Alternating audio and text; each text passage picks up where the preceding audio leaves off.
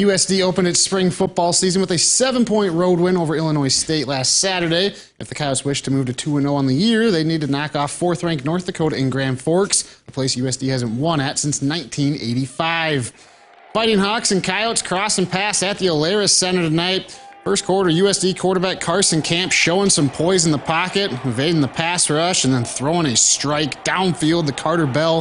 It's a 40 yard game that led to a field goal to put USD up 3 0. Second quarter, Fighting Hawks on the move. They're faking the quarterback sweep as Quincy Vaughn pulls up and hits Adam Zavalny with a 21 yard TD. UND up 7 3 at the half.